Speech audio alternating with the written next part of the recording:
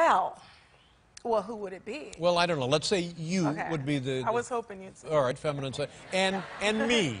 And you. Oh.